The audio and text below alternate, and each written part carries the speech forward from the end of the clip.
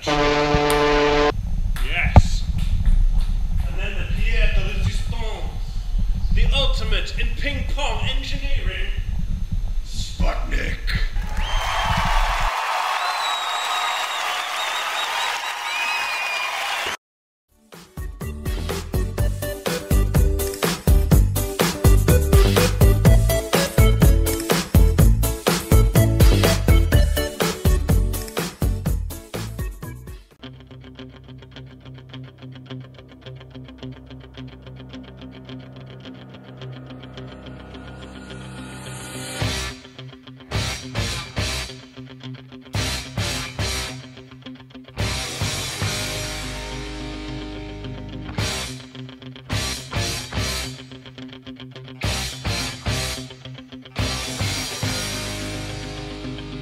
Test number one.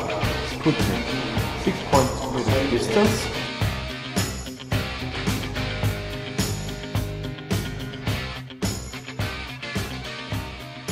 Fail. Success! Oh man, you're wearing different t-shirt now.